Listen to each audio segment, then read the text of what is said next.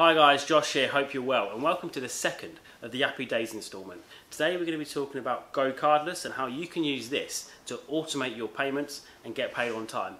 So with Go Cardless you can actually integrate this to Xero which is the software we recommend um, and what it will do is when you send an invoice on Xero to your customer it allows it to automatically collect it via the direct debit that your customer's already set up on Go Cardless and then when they've actually paid this um, the system will know that that invoice has been paid and attempt to automatically reconcile it for you.